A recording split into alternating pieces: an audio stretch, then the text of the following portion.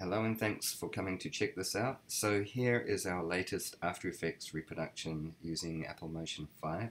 The source animation is by this motion designer, maybe pronounced Amar, and there's a link in the description to go and check that out at their product page at the Envato Market.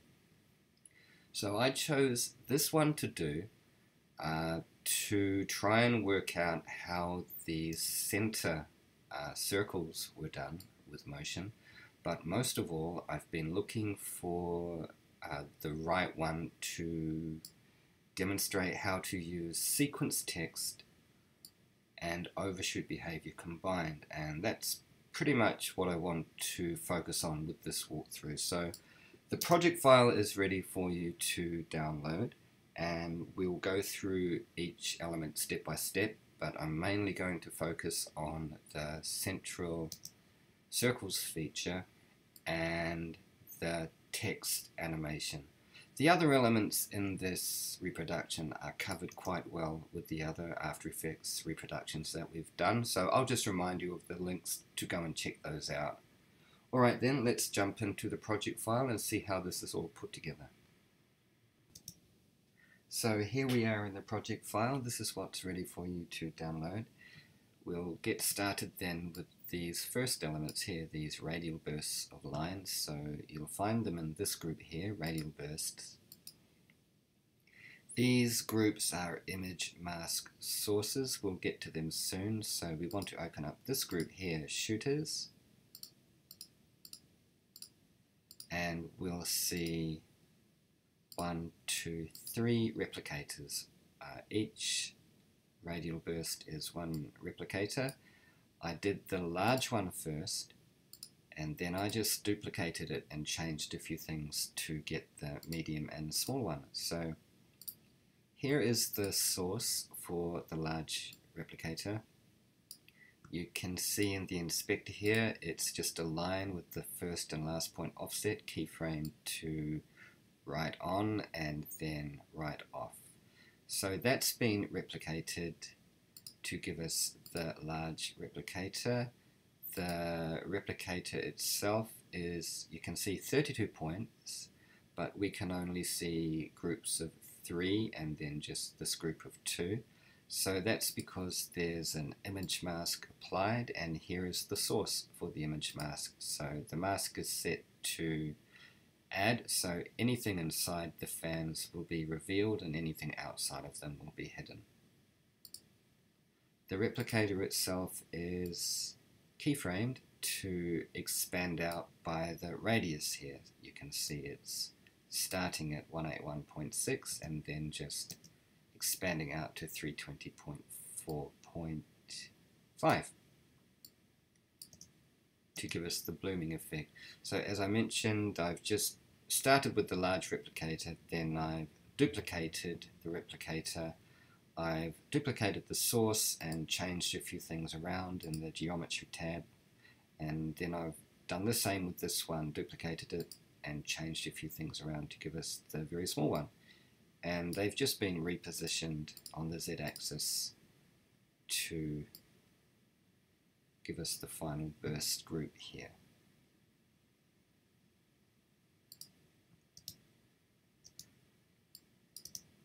There is a fade out behavior applied just over the last five frames to smooth out the end of that animation and a soft focus filter has been applied uh, only cosmetic to try and get as close to the After Effects graphic appearance as possible.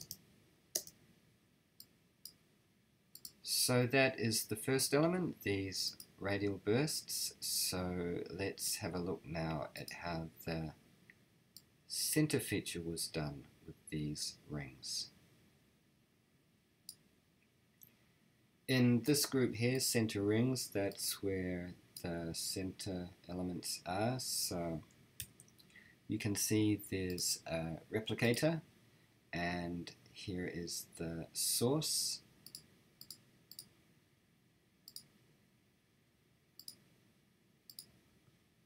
So this is the element that has been replicated. In the inspector you can see it's similar to the uh, burst source. It's a shape with the first point and last point offset animated there so that it writes on and off. So if you have downloaded the project file, you can jump in and see what was done to get it looking as close as possible to the After Effects animation. Let's go through and do another one now, just roughly, so you can see the steps. So I'll start by adding a circle and in the inspector I'll turn off the fill and add an outline there and then I'll just come in and center it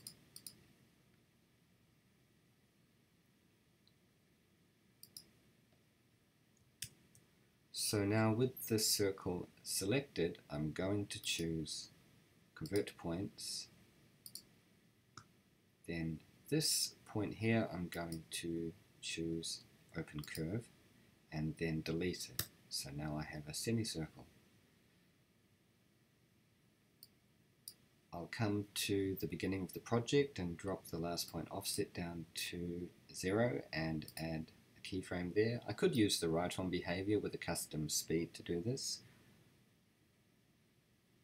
I'll come to 25 frames and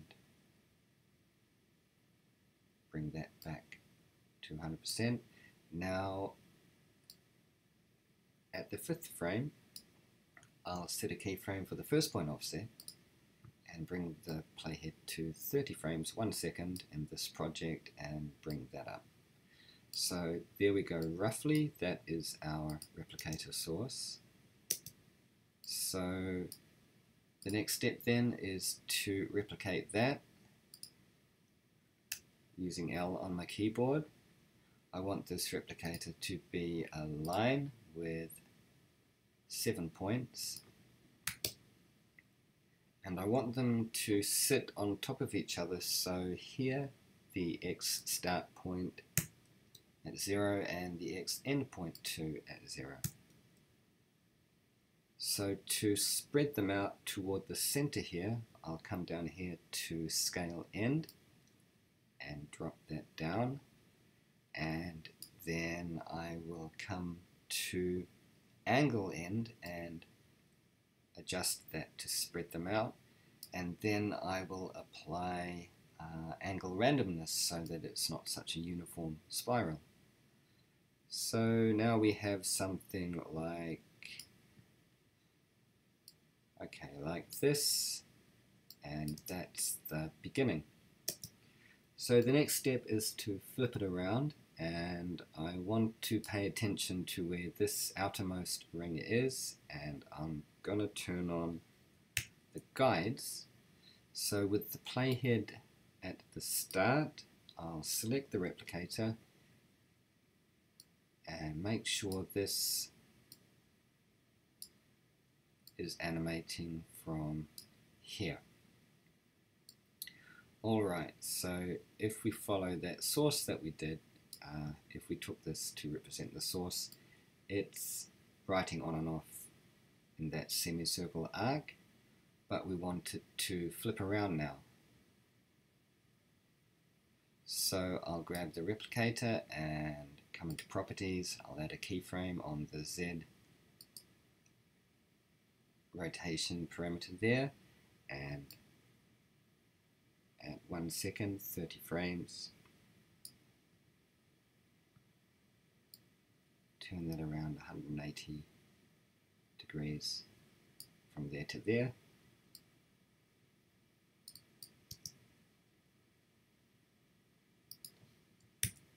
And that is just roughly how I made the center rings feature. Okay then, so let's now take a look at the logo group. The logo elements are all in this group here. So we have uh, this base shape bouncing in using overshoot on the scale. There's the overshoot behavior there. And the Apple Motion logo is uh, masked to be revealed by the base shape. There's the image mask and there's the base shape as its source. Just be sure to turn the base shape back on when you apply the mask as uh, motion will turn, turn off the mask source by default. And the Apple Motion logo is coming in on an overshoot behavior as well and rotating. So it finishes here, you can see it finishes the rotation just before the overshooting begins. So using the overshoot behavior was key to reproducing this part of the animation. I won't go into lots of detail about overshoot here. I covered it in a previous guide, so if you want to go into overshoot in more detail, check out the link in the description. So the next element then is this shape spill here. So in this group here, shapes, these are the sources for this emitter. And this is another thing that I've posted a guide for before. So if you want to get a lot of detail uh, and learn how to make these shape emitters, uh, shape spills and shape confetti, shape bursts, then check out the link in the description. So that covers all of the uh, elements up to the tagline. So then we get to the tagline here, and this is the next part that I want to focus on and show you more about how it was done. And as I said, I've been looking for a chance to pass this on. So we're going to look at how to make this animation using sequence text and apply overshoot to that. Let's go through how to do that text animation step by step. I'll grab the text tool, enter some text, in the inspector, center the alignment, and I'll just increase the font size here, make it easy to see. The font is Ubuntu, and that is the same font as the After Effects animation. If you want to grab a copy of that, there's a link in the description for you. Alright, we'll come to Properties and reset the X and Y position. Then come to Behaviors and grab Text Animation Sequence Text. Then I'll bring my playhead to one second in the timeline and hit O on my keyboard to trim it there. Here in parameters, I'm going to add position and grab that Y position parameter that we just added and choose add parameter behavior overshoot and make sure that overshoot behavior is trimmed to the same duration there, one second in the timeline. Okay, then I'm going to grab this option here, sequencing, and choose from keyframes so that the overshoot will influence each glyph rather than just the entire text element as a whole. Alright, let's tell this overshoot what to do. We'll have the start value at minus 200, ramp duration at 25, cycles at 1, and the spread at 8. So now if I scrub through, you can see that the glyphs are following the rules of the overshoot instructions in sequence through the sequence text, but each glyph is visible until it has its turn, and that is one of the quirks of using overshoot with sequence text in motion at the moment, and also I think it applies to sequence replicator as well. So what can we do? Um, first, I want to share with you a tip that was shared at one of the Motion 5 Facebook groups. The tip comes from Anatoliy. He shared with us a method to keyframe opacity to get around this, so let me pass that on to you.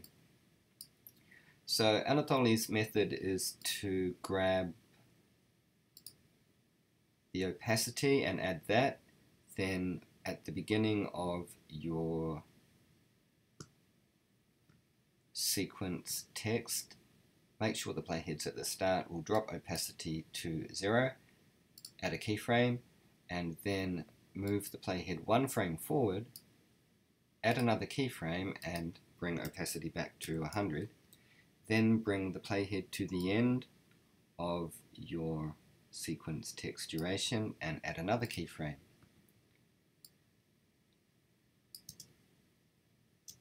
So that is one thing that you can do. For our After Effects reproduction, in this situation, we want to also animate the scale of each glyph. So in our situation, we don't need to use the opacity trick, but I want to pass that on to you. So if you ever get stuck with using overshoot and sequence text in the future, you'll know what to do. Um, we don't need to use it here we're going to animate scale, and animating scale is another way that you can jumpstart the glyphs to do what you want visually. Okay, so let's remove opacity. Let's add scale. Bring the playhead to the start. Drop scale to zero. Add a keyframe. Bring the playhead to the end of our sequence text duration. Bring scale back to 100%. And that is how we get our tagline animation.